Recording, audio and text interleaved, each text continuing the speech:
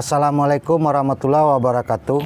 Halo teman-teman, hari ini kita akan berbagi cara membuat mol dari nasi basi dan apa saja manfaatnya untuk tanaman. Teman-teman, sebelum kita lanjut untuk cara membuat mol nasi dari nasi basi ini, kita akan membahas dulu perbedaan dari mol POC dan JPT agar kita tidak salah memahami manfaat dan kegunaan mol POC dan JPT. Mol atau mikroorganisme lokal adalah bakteri atau jamur yang berguna untuk yang pertama untuk menyehatkan tanaman. Manfaat yang kedua untuk menyuburkan tanaman. Dan yang ketiga, menjaga ketahanan tanaman terhadap serangan hama dan penyakit.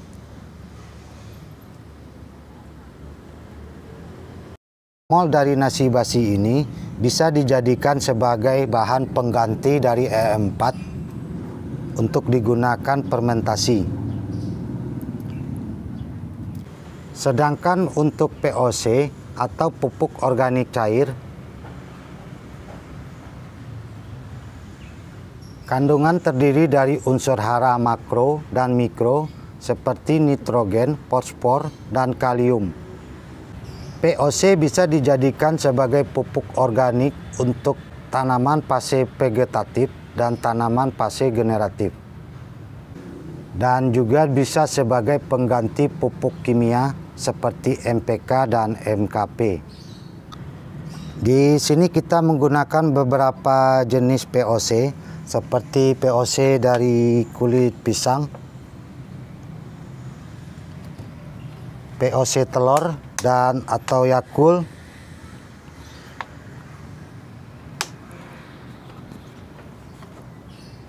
POC dari kohe kambing,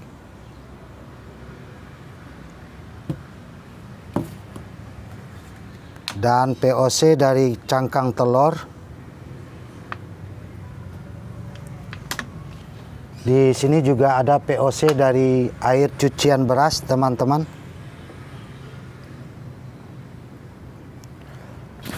Sedangkan untuk ZPT atau zat perangsang tumbuh, di sini kita juga ada zat perangsang tumbuh menggunakan dari bawang merah.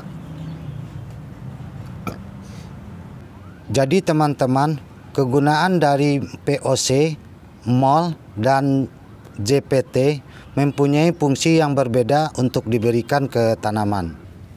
Untuk cara membuat dan manfaat semua pupuk organik ini, teman-teman bisa lihat di video kita sebelumnya atau di link deskripsi video ini nanti. Berikutnya kita akan lanjut untuk cara membuat mol dari nasi basi ini. Bahan yang akan kita gunakan tentunya nasi biasa, untuk bahan pengurai kita menggunakan E4 dan molase. Untuk langkah awal kita akan simpan nasi ini di tempat yang gelap selama 3 atau 4 hari sampai nasi ini akan mengeluarkan jamur. Di sini kita sudah ada nasi yang sudah kita diamkan selama tiga hari di tempat yang gelap untuk lebih cepat nasi ini mengeluarkan jamur, teman-teman gunakan daun pisang seperti ini. Dan ini teman-teman hasil dari nasi basi yang sudah kita diamkan.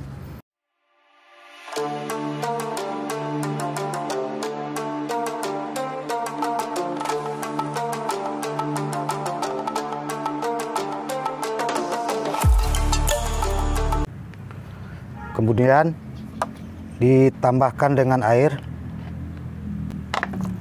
Setengah liter cukup teman-teman.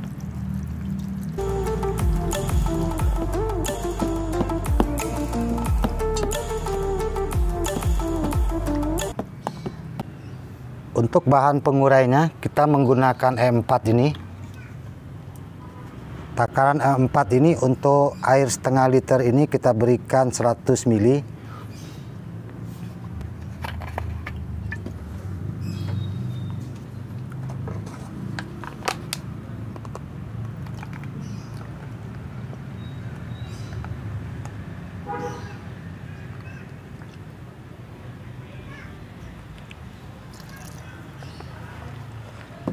dan menambahkan molase 100 ml untuk yang ini kita langsung aja teman-teman karena ini susah turunnya. Jika tidak ada molase teman-teman bisa gunakan gula merah atau gula pasir.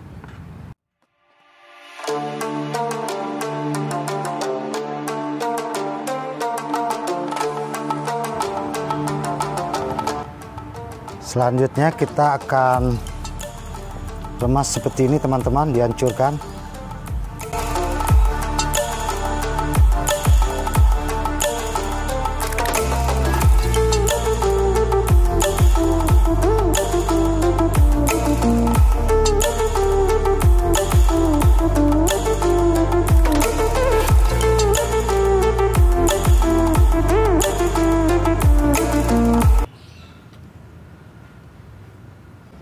Selanjutnya kita akan tuangkan ke dalam botol ini teman-teman.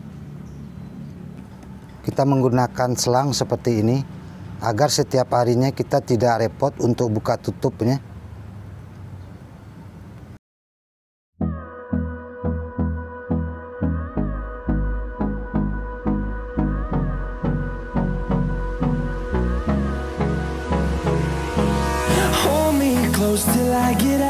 Time is barely on our side. I don't wanna waste what's left. The storms we chase are leading us, and love is all we'll ever trust.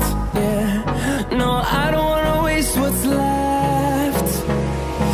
And on and on we'll go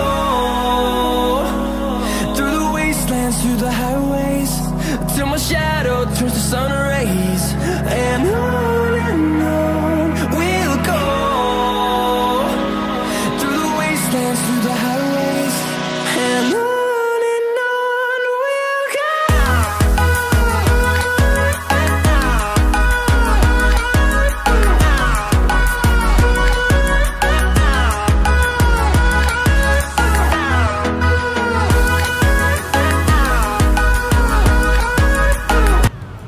Selang ini tidak menyentuh ke cairan